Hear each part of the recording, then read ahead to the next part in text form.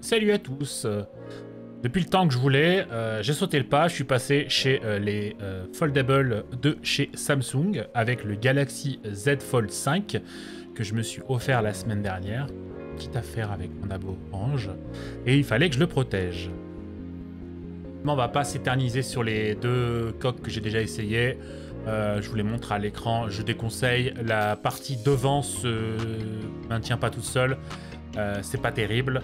Euh, donc je vous déconseille ces deux exemplaires. D'ailleurs, sur l'un des deux, il y a une des notes. De 1, c'est moi. Et très rapidement, je vous parle de la coque officielle qui est en vrai pas trop mal. Un système d'adhésif, on va en reparler plus tard. Euh, sur la face avant, elle tient un peu mieux.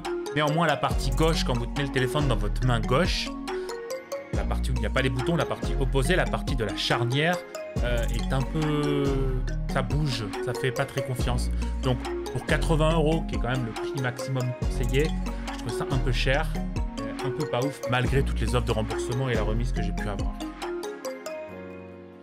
Bon, mais au final, on est là pour euh, la coque Spigen, donc Spigen, Spigen, je ne sais pas comment on dit. On parlera du tarif après, qui au final, euh, pour l'instant, est ce que j'ai trouvé de mieux. Alors, c'est bien pensé, ça se voit qu'il y a de l'ingénierie derrière, il y a de la recherche. Vous avez une protection pour ce qu'on appelle le hinge, le mécanisme. La coque est bien pensée, vraiment, elle englobe tout. Les adhésifs sont présents pour tenir la partie qui me posait problème avant, la, la partie main gauche, euh, petit écran en fait, on va l'appeler là-bas, la petit écran. Plutôt bien pensé. Ça a l'air robuste. On verra dans le temps si ça fait son boulot. Mais c'est très quali, c'est très très quali.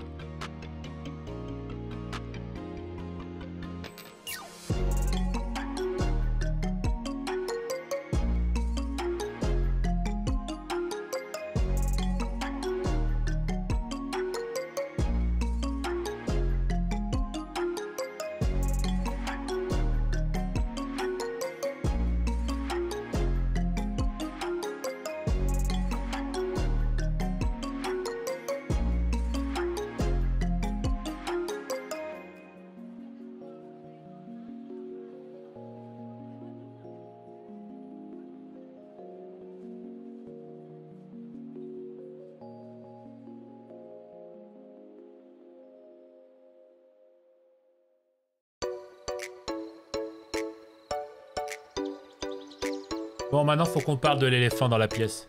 The Elephant in the Room. Cette coque-là est vendue 89,99€. Bon, ça fait euh, 10 euros de plus que la Samsung officielle. Toutefois, la Samsung, il y a 20 euros remboursés et sûrement elle va baisser. La Spigen, c'est pas la première fois qu'ils font des étuis à ce prix-là. Et euh, Spigen, une époque, c'était du pas cher. Là maintenant, on a dit, effectivement, il y a de la R&D derrière, mais 90 balles pour une coque en plastoc, certes peut-être bien pensé, c'est vraiment too much.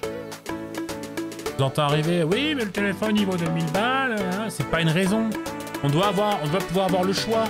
Là, le choix, ben, on a soit des merlouilles euh, en chinoisium, soit la coque Samsung d'origine, qui est quand même vendue à prix très élevé, soit celle-ci qui est la seule que j'ai vue pour l'instant, pour l'instant, bien pensée. Donc on n'a pas le choix en vrai. Le choix, il est pas suffisant. Est-ce que je la recommande? Malheureusement, oui. En attendant qu'il y ait mieux. Euh, mais 89 euros, c'est quand même un budget. C'est quand même un budget.